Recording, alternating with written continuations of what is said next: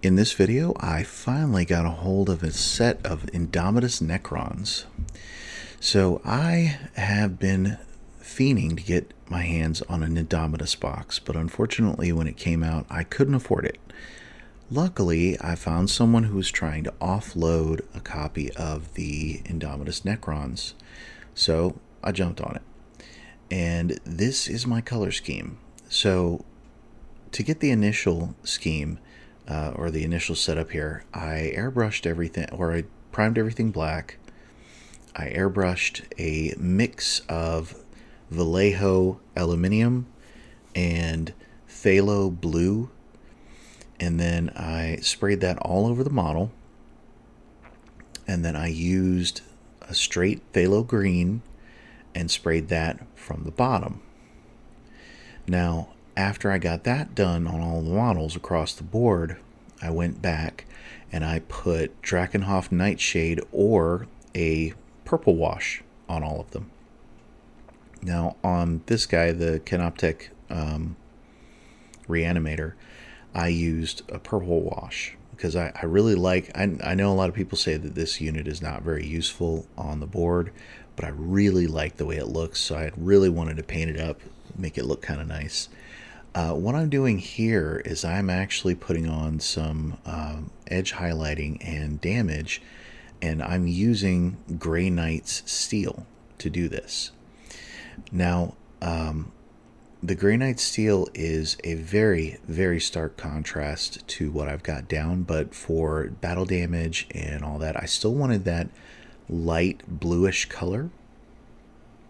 Uh, my original idea was to have kind of an OSL effect going. But with the wash on it, it actually ended up looking really good as a sort of alien two tone metal. So I've decided I'm just going to keep it like this and I'm not going to go back over the phthalo green to do an OSL effect. I'm just going to edge highlight them, you know, do a couple of details and make it look pretty good. So sit back and enjoy watching me do a buttload of edge highlighting.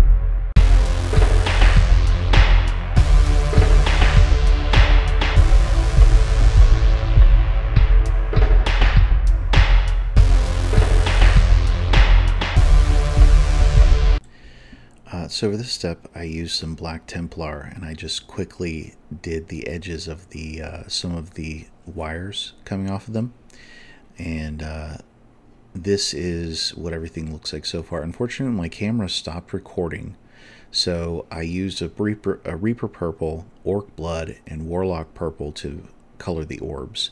But I didn't catch it because I forgot my camera will only record for so long at a time.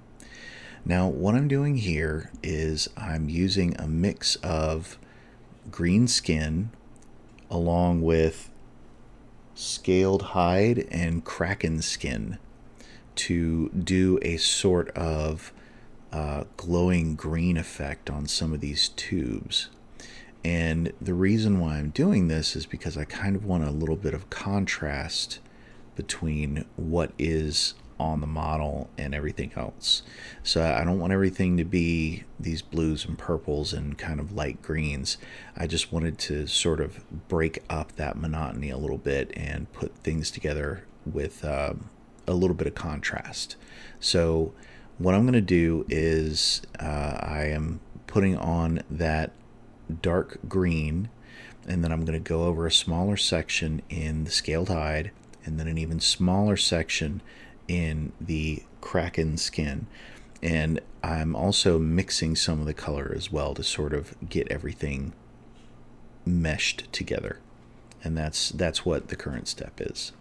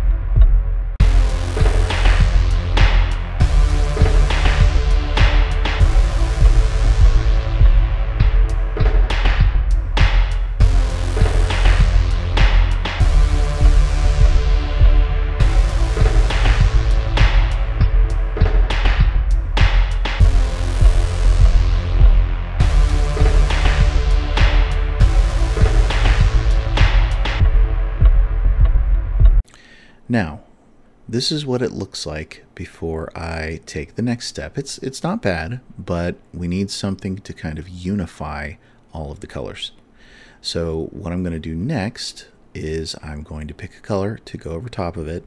Now, originally I was going to use a wash, but what I decided to do was actually use uh, the contrast plague bearer flesh and paint that over top of it because not only does it throw green in there, but it gives it an almost slightly yellow tinge. And honestly, I think it looks really good that way. The last step that I'm doing here is I'm putting the uh, Fluor Purple, it's like a, a violet glowing color from Green Stuff World, and I'm putting that over all of the orbs to give them sort of a glowing effect. Now, I'm going to repeat this process for all of my Necrons. Uh, I've done the Warriors, I've done a couple of the command units, but this is what it looks like. And uh, I hope you enjoyed watching. Thank you for your even watching is, is a, a lot of support, and I really appreciate it. And, uh, you know, like and subscribe.